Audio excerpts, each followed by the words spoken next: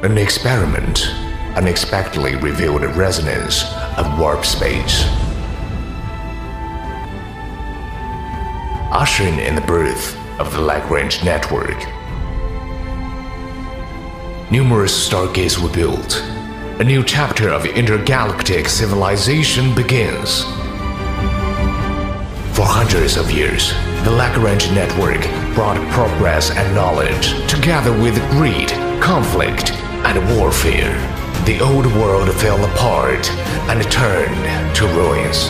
The various Lagrange nodes rekindled, and a new era of interstellar voyage begins once more. Infinite Lagrange is the latest game from NetEase and it's available now. Here's what you need to know about this space cross-platform game. Via the press release, if you are in the United States, Canada, Australia, Mexico, Brazil, in addition to 31 other regions, you can play Infinite Lagrange. But what exactly is it?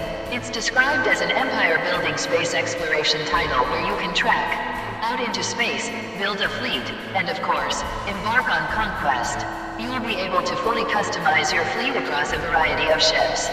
Other features include expanding your territory, immersive space battles, space exploration, seasonal goals, and treasure hunting. You can download Infinite Lagrange now on PC and mobile with the title featuring cross-platform play. You can grab the game from the official site here. If you're looking for a launch trailer, we've got you covered. Infinite Lagrange, a great space simulation game, is now available for PC and mobile devices.